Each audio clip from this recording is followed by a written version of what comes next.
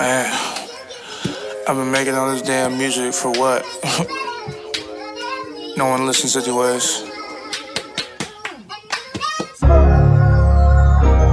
So, I don't know, I've been kinda inspired lately. Just trying to make something real. Really, really write something down. Maybe you'll feel it. A story that no one wants to remember. Just as cold in the summer as it was in the winter. And never shopping wood, but still getting splinters.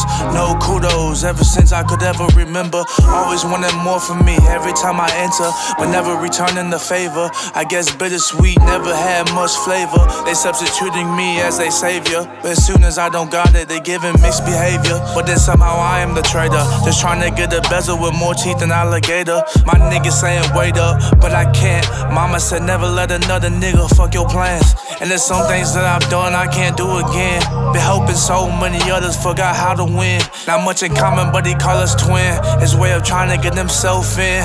All these things that I'm juggling. Pockets still struggling, stomach still rumbling.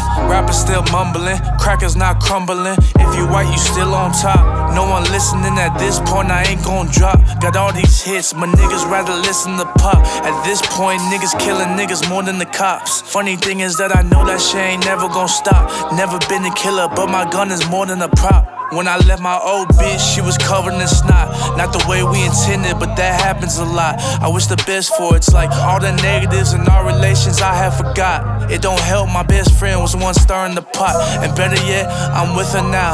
Mama ain't been this happy since I was a child. She sees future grandkids, man, that makes her proud. I mean, damn, it feel good to finally think out loud. Yeah. CG.